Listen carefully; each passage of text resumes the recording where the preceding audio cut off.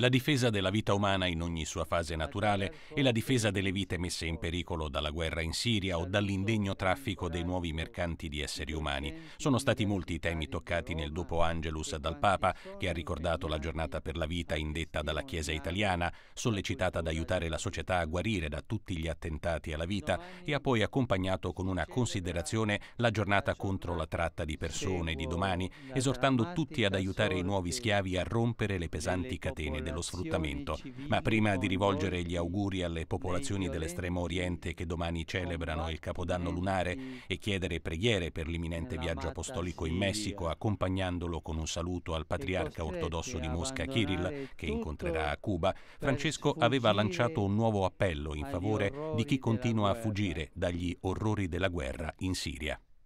Auspico che con generosa solidarietà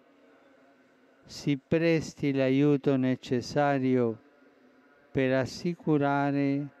loro sopravvivenza e dignità,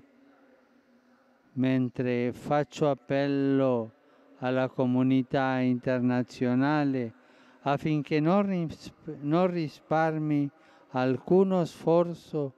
per portare con urgenza